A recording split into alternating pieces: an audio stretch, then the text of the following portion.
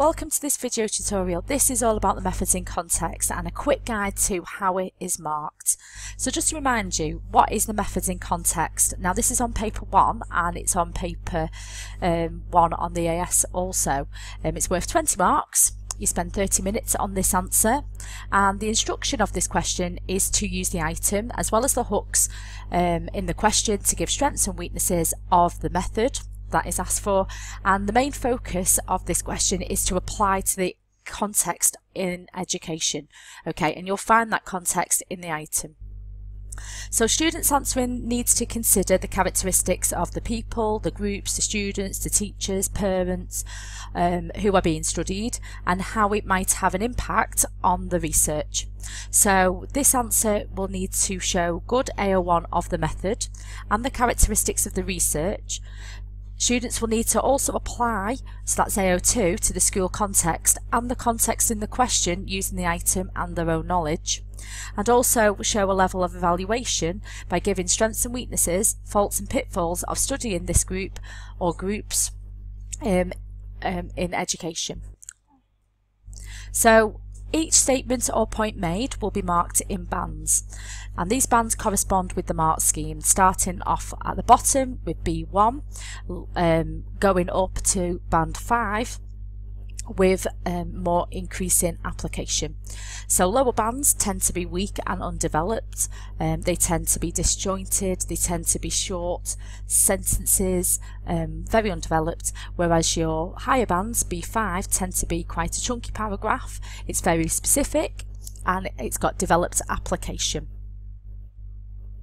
So let's look at this question and what the bands are in the context of the question that was on the 2017 summer paper from paper 1 A level. So it was asking you to apply the material from the item. So you'll see that up here and your knowledge of research methods, evaluate strengths and limitations of using field experiments um, to investigate the effect of teachers' labelling of pupils okay? Um, so here you needed to show good AO1 of the strengths and weaknesses of a field experiment. I would follow the PET so practical ethical theoretical issues.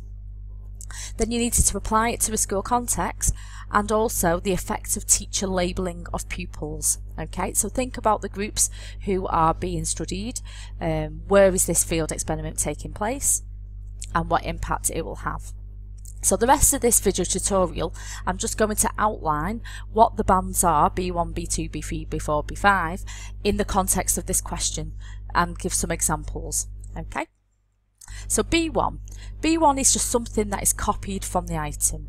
It could be a point about a method or the wrong method, or it could be anything about the context which is not applied to the method.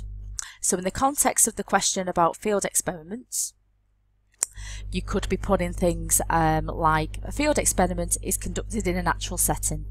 The natural setting part was in the item. No elaboration, really basic. Field experiments are observations.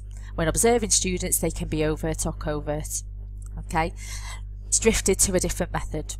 Or it could be something about the context with no link to the method at all. So students can be labelled as the ideal pupil according to Becker, causing self-fulfilling prophecy, streaming, subcultures and so on. No application there, method only. Moving up, you've got band 2. These tend to be strengths or weaknesses of a method with very little application to education or the context and no real elaboration. Okay, so we're going a little bit more specific now.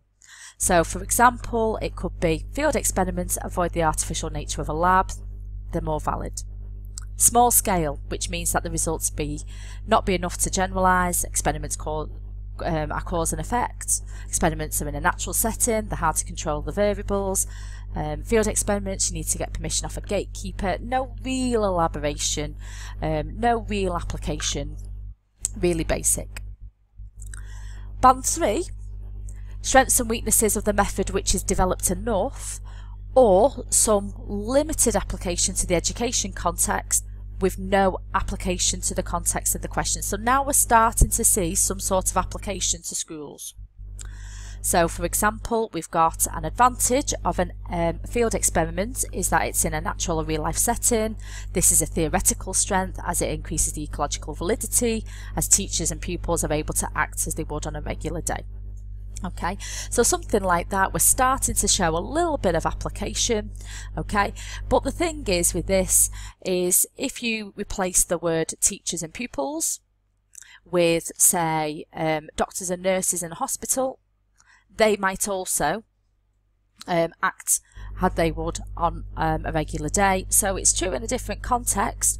So the context isn't strong enough, and that's why it would only get band three.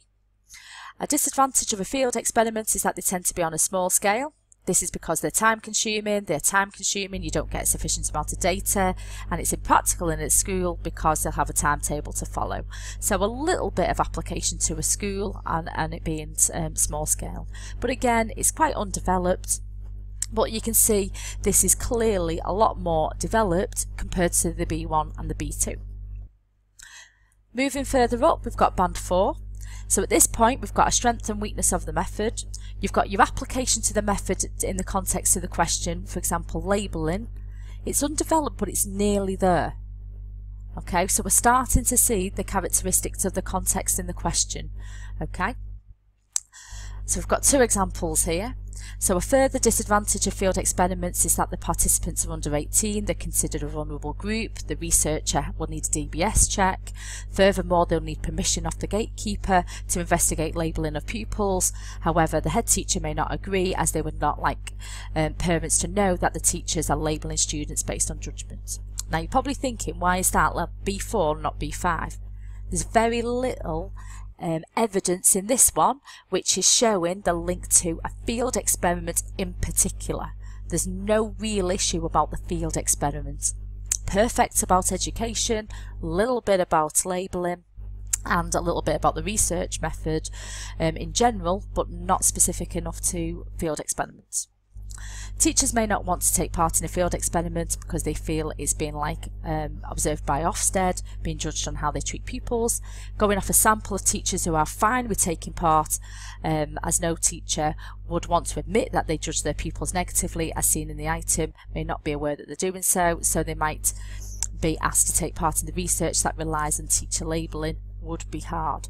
And again, there's no real application to the field experiment, a lot of application to the context in the question, but not quite specific enough. So lastly, this is your specific strength and weaknesses of the method, field experiment, so very specific, plus the context in the question, the effect of labelling when studying education. Okay, so at this band, you are going to show a knock-on effect as well. Okay, so we've got two big chunky paragraphs that got B5. So, for example, if a student is aware that they're being labelled negatively, then it's unlikely they will feel willing to take part in a field experiment. They're too embarrassed about their label. If their label caused them to misbehave or truant, they might be embarrassed to take part. The same for teachers. If they make judgments and stereotypical assumptions on working class or based on ethnicity, they're going to be less willing to participate in a field experiment because it's a sensitive subject. You may get many who are willing to take part in a field experiment because they are labelled positively and no data regarding those who have a negative label.